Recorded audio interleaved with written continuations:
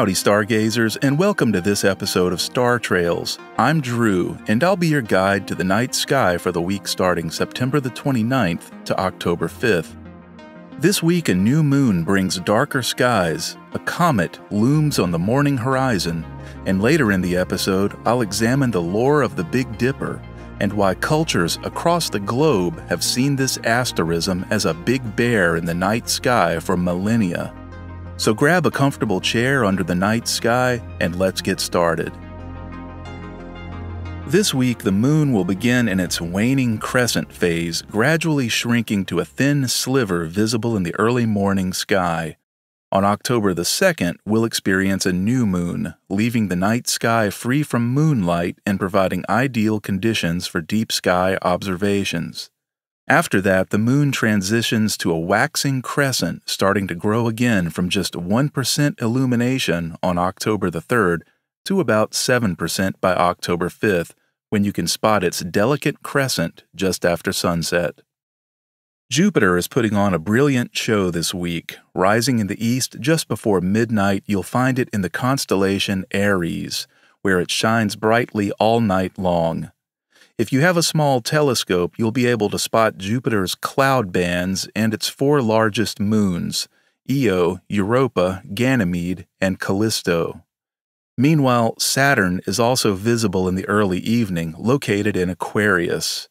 Its iconic rings are still on full display, and with a telescope, you can even catch a glimpse of Saturn's largest moon, Titan.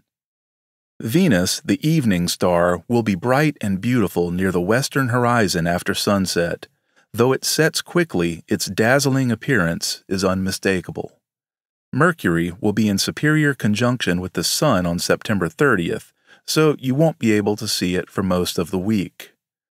Comet hunters will want to get up early this week. Comet C 2023 A3 will be visible in the hours before sunrise on four successive mornings this week. Further windows of naked eye visibility in the evening sky could follow in mid October. Just a few days ago, C 2023 A3 reached perihelion, its closest point to the Sun on its estimated 80,000 year long orbit. Skywatchers in the northern hemisphere may be able to glimpse the comet a few degrees above the east southeast horizon about 30 minutes before sunrise until Wednesday, October the 2nd. Monday morning could be a perfect time for spotting this comet while it's joined by a delicate waning crescent moon. As always, comets are unpredictable, so we'll see what happens with this one.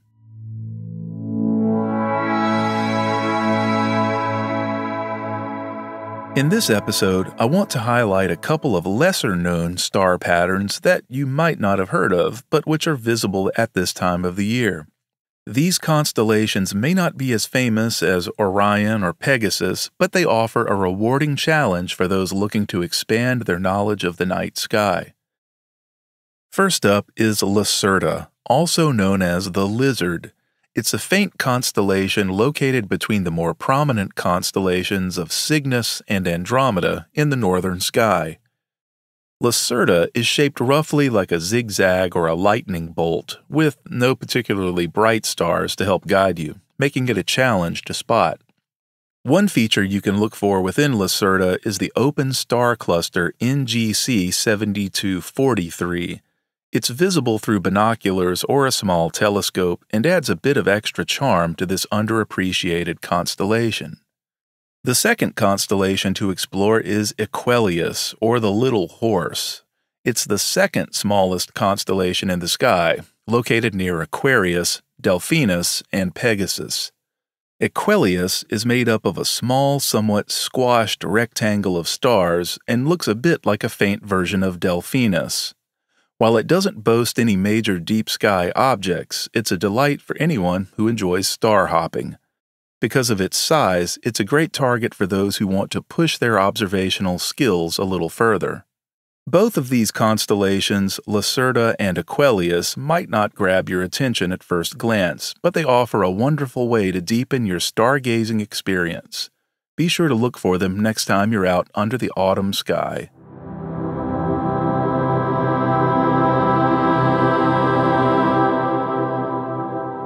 As we continue exploring the night sky this week, let's talk about some deep sky objects that are well positioned for observation. These are some of the most beautiful and intriguing sights that can be seen with binoculars or a small telescope. Even if you're a beginner, they're not too difficult to find and they offer a great reward once you've located them. First up is the Dumbbell Nebula M27 in the constellation Vulpecula. This planetary nebula is one of the brightest of its kind, and it has an easily recognizable shape that looks like a glowing dumbbell or hourglass. Through a telescope, you'll be able to see the shell of gas ejected by a dying star. Next, we have the Ring Nebula, M57, in Lyra. This is another planetary nebula, but instead of an hourglass shape, it appears as a small but strikingly clear ring of gas. Through a medium sized scope, the glowing ring really pops out against the dark backdrop of space, making it a favorite target for amateur astronomers. Don't forget about the Hercules cluster, M13, one of the brightest globular clusters in the northern sky. Located in the constellation Hercules, this dense cluster contains hundreds of thousands of stars packed tightly together. A telescope will reveal its granular structure, making it a fascinating object to study. Also, it's one of the best globular clusters to observe in the fall. For galaxy hunters, try locating the Triangulum galaxy M33 in the constellation Triangulum. It's a face on spiral galaxy and the third largest member of our local group of galaxies after the Milky Way and the Andromeda galaxy. Under very dark skies, it's even possible to see M33 with the naked eye, though binoculars or a small telescope will really bring out its faint spiral structure. All these deep sky objects make excellent targets for your stargazing adventures this week. They're visible for much of the night, so take your time to explore the wonders hidden in the cosmos.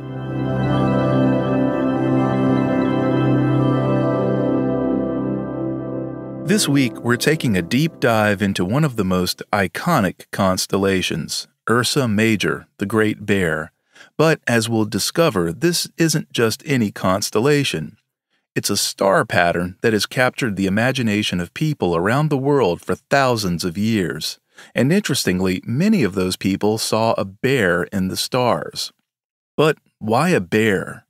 The answer takes us back to ancient human history spanning continents and cultures, and maybe into the mysterious world of prehistoric bear worship. Let's start with the constellation itself.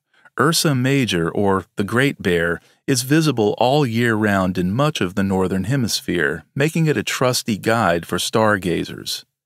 The part you're probably most familiar with is the Big Dipper, an asterism formed by seven bright stars within Ursa Major.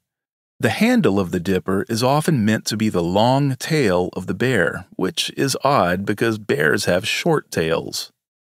The cup of the dipper is significant because two of its stars, Dubhe and Merak, serve as pointer stars to the North Star, Polaris. This was no small matter to ancient civilizations. Before modern navigation systems, people relied on the stars to find their way, and the Big Dipper was like a celestial compass, always pointing north. Mariners, travelers, and even nomadic tribes would have looked up to this asterism to guide their paths. But as useful as it was for navigation, it was also the subject of deep mythology and symbolism, and that's where the bear comes in. It seems like an odd choice. The stars of Ursa Major are spread out, and it takes some imagination to turn that shape into a bear.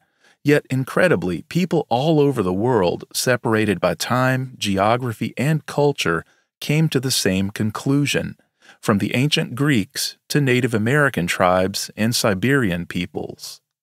In Greek mythology, the bear is connected to the story of Callisto, a nymph who was transformed into a bear by the jealous goddess Hera.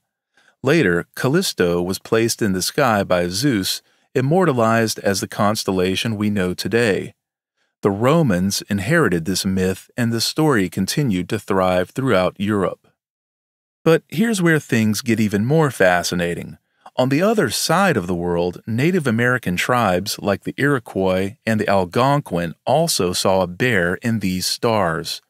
The Iroquois told stories of hunters chasing a great bear across the sky, with the bear's death in the fall explaining the changing colors of the autumn leaves.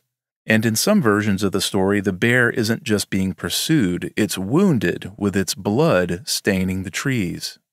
These parallel myths suggest something deeper, something more ancient, and it might be linked to the migrations of early humans across continents. Anthropologists have suggested that early hunter gatherers crossing the Bering Land Bridge from Siberia into North America carried with them stories of the celestial bear. As they spread across the continent, so did the legend. This bear in the sky became a universal symbol for survival strength, and perhaps even the changing of the seasons. To possibly understand why the bear became such a powerful symbol, we need to go even further back in time, tens of thousands of years, to the age of the Ice Age hunter gatherers. Evidence suggests that humans in Europe once revered and possibly even worshipped the cave bear, a species that roamed the earth during the Pleistocene epoch and went extinct around 24,000 years ago. Archaeologists have uncovered bear remains in ancient caves across Europe that suggest ritualistic treatment. In some sites in Switzerland and France, skulls of cave bears were found carefully placed in stone niches. Other remains show evidence that humans might have revered these massive animals, which could stand up to 10 feet tall on their hind legs. These cave sites are thought to have been places of bear worship, possibly linked to the awe these prehistoric humans felt toward the bear's physical power and its ability to seemingly die in hibernation and return with the spring thaw. This seasonal rhythm mirrored the cycles of the natural world that were essential for survival, especially to those dependent on hunting and gathering. It's not a stretch to imagine that the stories of the cave bear survived in oral traditions, eventually evolving into the myths and stories about a celestial bear we find in cultures from Siberia to North America. The stars of Ursa Major became the eternal bear, standing watch over the night, year after year, season after season. However, not every culture saw a bear in Ursa Major. In medieval Europe, the Big Dipper was often seen as a plow, a fitting image for agrarian societies. The Romans sometimes called it the seven oxen, referring to the seven stars as oxen pulling a cart. In England, the stars were imagined as Charles's wagon, named after Charlemagne, the great medieval emperor.